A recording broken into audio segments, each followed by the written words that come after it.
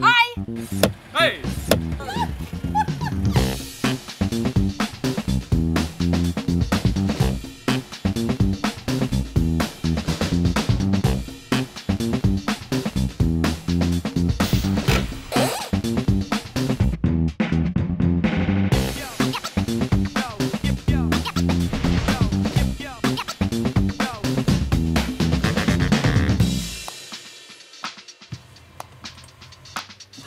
Hi!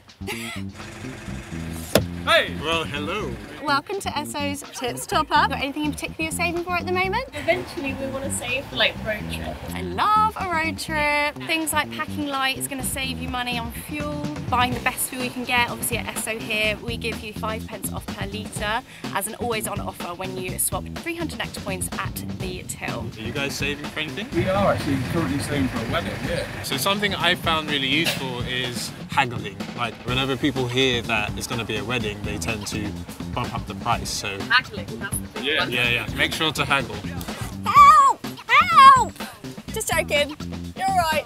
Are you guys saving for anything in particular? Deposits and House deposit, house Yeah. deposit. I got on the uh, property ladder last year, and it I was like getting it, a- it's good. Yeah, yeah. It's uh, yeah, very roomy. One bedroom. Yeah.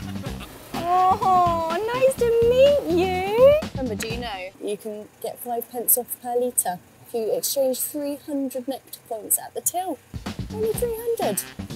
Good thing to do with saving is making sure that you save on the day you get paid. General rule of thumb is like 10%. The most important thing is just starting. It's not every day you get savings tips from a man in a box. Bye bye. One day only, free money advice.